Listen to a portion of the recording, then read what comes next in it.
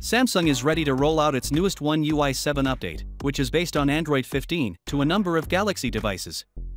This update is anticipated to add new features, improve performance, and optimize the user experience for Samsung smartphones and tablets. The rollout will begin immediately after the Samsung Developer Conference on October 3, with the stable version of One UI 7 expected to reach devices soon after. Samsung often uses a phased approach for big upgrades, and One UI 7 will be no exception. As the most recent flagship update, the Galaxy S24 series will be the first to receive the One UI 7 update. These devices are expected to showcase the update's finest features and enhancements. Z Fold 6 and Galaxy Z Flip 6 Samsung's newest foldable phones will also be among the first to receive the LU update, which includes new capabilities particularly designed for foldable screens. The Galaxy S23, S22, and S21 series, which were formerly flagship models, will be the next to get the update, which is due in November. Owners should expect improved performance design and overall usefulness. Around the same time, Samsung's earlier foldable models, the Galaxy Z Flip 3, Flip 4, and Flip 5, will also receive an update to UI 7. These foldable devices will also receive the One UI 7 update in addition to the Flip series.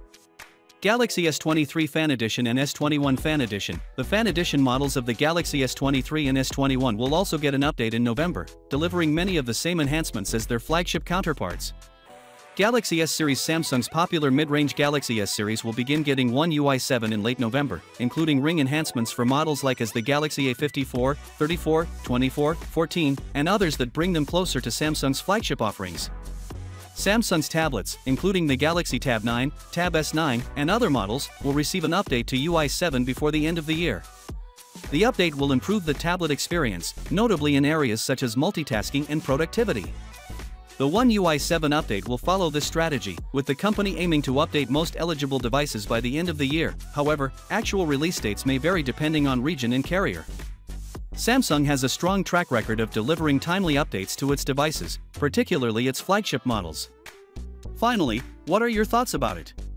So with that being said let me know your thought in the comment below and if you are new here please subscribe peace out.